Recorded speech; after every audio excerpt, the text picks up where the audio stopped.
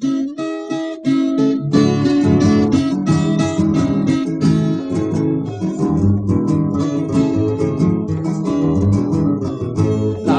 Pernambuco ele foi nascido, nome de batismo era Virgulino. Porém sua sorte foi triste demais, perdeu seus pais quando era menino. Perdendo aqueles que queria bem, jurou que também matava o assassino. Até que um dia completou a idade, cheio de maldade, seguiu seu destino.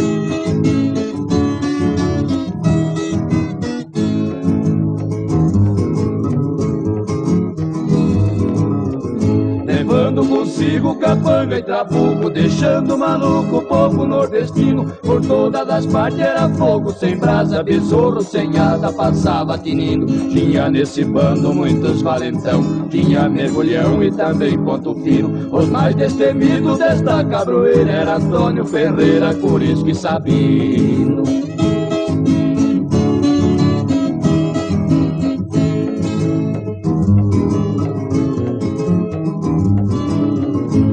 Maria bonita, sua companheira, era sempre a primeira a pegar no fuzil. Por todas as partes onde o bando passava, ali se travava uma luta febril. Nem mesmo o governo eles não respeitavam, até enfrentava a polícia civil. Foi tanta fumaça que subia ao léu, por isso é que o céu ficou cor